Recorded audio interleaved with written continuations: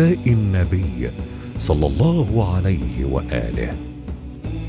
ومن كلام له عليه السلام وهو يلي غسل رسول الله صلى الله عليه وآله وتجهيزه.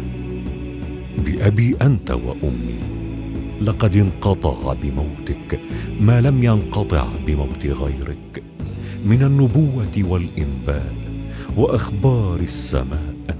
خصصت حتى صرت مسليا عمن سواك وعممت حتى صار الناس فيك سواء بأبي أنت وأمي اذكرنا عند ربك واجعلنا